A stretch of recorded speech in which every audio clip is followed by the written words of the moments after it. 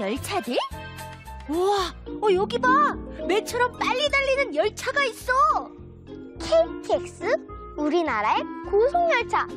와, 진짜 빠르다. 어?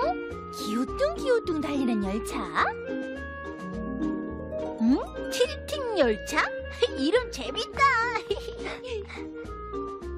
곡선으로 된 길에서는 열차가 오른쪽, 왼쪽으로 기울어져서 달린대.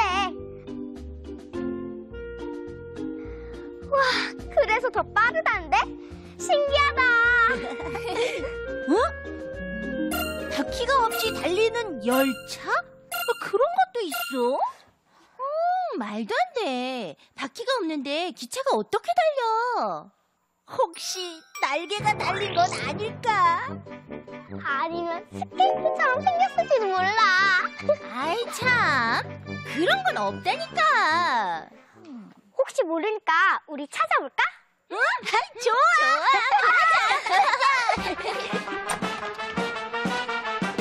와, 진짜 멋지다.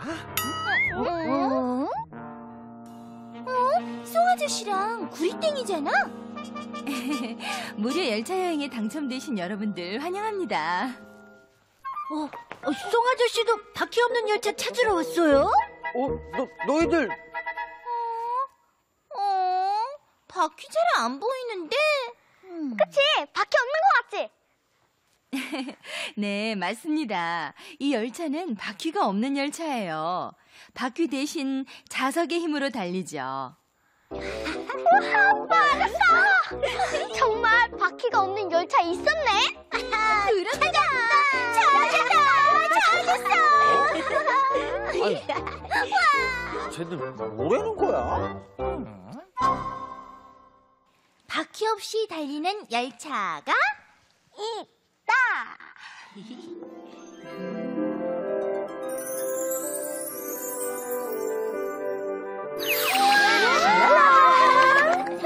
뻥기대, 뻥빠대.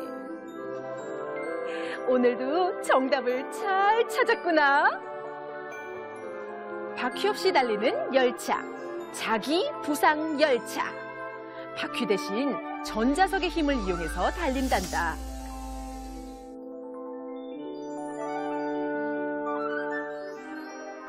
같은 그 길이는 밀어내는 힘으로 이 열차를 띄워서 달릴 수 있게 한 거란다. 자기부상 열차는 다른 열차에 비해 빠르게 달릴 수 있고 조용하고 흔들림이 적어 더욱 편리하게 이용할 수 있단다.